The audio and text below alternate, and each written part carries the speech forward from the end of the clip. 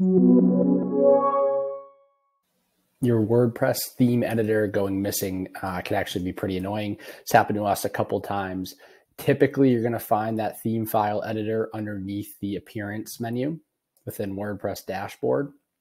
And on occasion, sometimes uh, it'll disappear. And so there's four pretty basic steps you have to follow if yours is not appearing. We'll dive right in. Step one is for new users uh, to WordPress that have not used it previously. Nine out of 10 times when they're not seeing the theme file editor option, it's because they actually haven't fully activated and deployed their theme yet.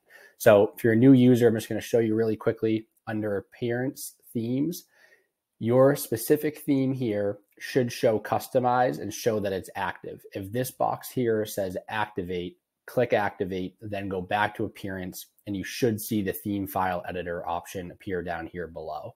Again, it sounds very basic. It's not a hard mistake to make when you're brand new to WordPress. On the other hand, if you've been using WordPress for some time and you've recently installed a security plugin, uh, nine out of 10 times, this is going to be your problem. So a lot of the security plugins have very specific settings that allow you to disable your theme file editor option. And when you do so and you activate that security plugin, it's going to disappear. So, two really common plugins where this is the case that a lot of folks use is SiteGround Security and iTheme Security. If you have either of these, there's a couple really straightforward steps that you can take um, to, to ultimately disable this. So if we go over to WordPress dashboard, down to plugins, scroll down here to SiteGround Security. I'm going to activate it just for the sake of this walkthrough here. And you'll see that down on the bottom, SG Security pops up as a menu option. Go to Site Security. And if you scroll down to the middle here, you'll see disable themes and plugins editor. It's currently on. You'd toggle this to off.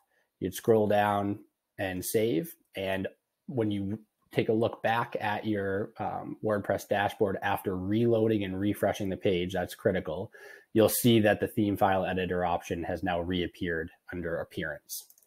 So those are the two big fixes here that's going to be the vast majority of folks. If you use a different plugin, um, such as the iTheme security plugin, there's some very basic steps you have to take. If your security plugin is different than these two, you should still go through the settings. Um, the process will be a little bit different, as I mentioned, but make sure that you cross this off the list because it's really a, a leading cause of the issue.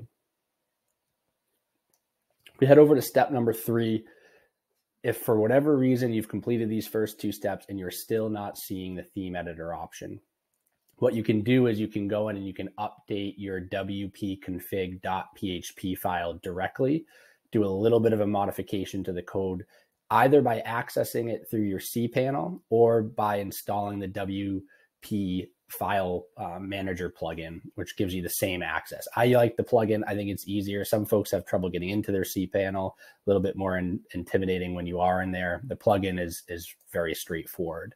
Um, regardless of which approach you take, when you get into the file manager, you're going to right click and on the WP config uh, PHP folder and do code editor. So let's just quickly go into WordPress You'll see I've downloaded the WP file manager here. We're just going to simply click WP file manager out of the options. And when this loads, you'll see that all the core files here will be listed and WP config.php is right here. We'll right click. We'll go to code editor. Once you're in code editor, what you're looking for is the following code line within that text field. It's define and then disallow file edit true. What we're going to do is simply replace true here with false and then save and close the file. When you do that, it should reappear in the appearance option. And your fourth and final step here, and, and sort of uh, an unfortunate route if it comes to this, is you're going to have to deactivate all of your plugins and reactivate them one at a time. The issue persists, it's very likely that you have a faulty plugin that's simply not compatible with your specific theme.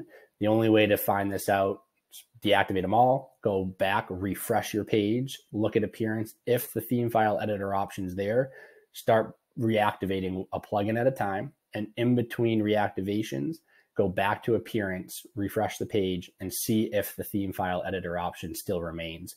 If between updates and, and reactivating a plugin, it disappears, you now know that that specific plugin is the culprit and you're either going to have to remove the plugin and move on with your life and not not replace it or find a plugin that serves the same purpose and replace it if it's a critical plugin and you feel like you can't live without it you do have the third option of potentially reaching out to the development team for support again if you feel like you you really need it all right hopefully one of those four steps help solve the problem like, subscribe. It helps us out. And if you want some additional blogging tips and resources, head over to nichetwins.com. Till next time.